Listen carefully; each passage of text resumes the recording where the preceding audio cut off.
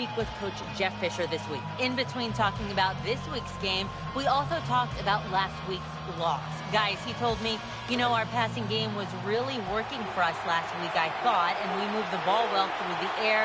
But overall, we just didn't play a good enough game in other areas. So we just have to be better in this one. Guys, sounds simple enough. Back to you. You don't see it often in today's game. These gloves these wide receivers wear, my gosh, anybody can catch it. I don't know how he dropped it.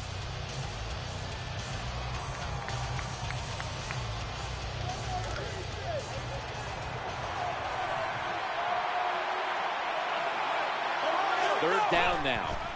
Quick drop back. Terrible throw by the quarterback. Terrible route by the wide receiver. Oh, wow, what a shock.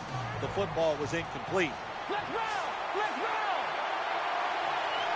The Rams step up to the line, employing now their jumbo package. Getting sacked. Here's the former Boston College quarterback, Matt Ryan. Matt Ryan finally just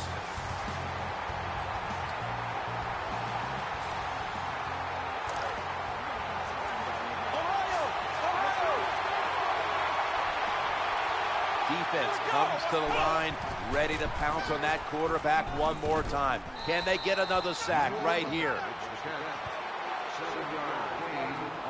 Well, when you play this type of defense where you play cover three, in other words, you have three defenders playing one in the middle, one right, and one left.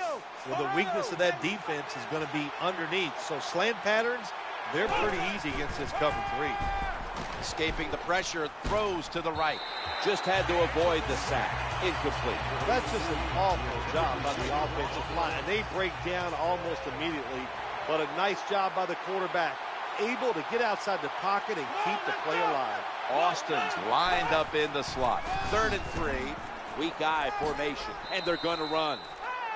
I'm sure my man, this rookie quarterback's taking a big sigh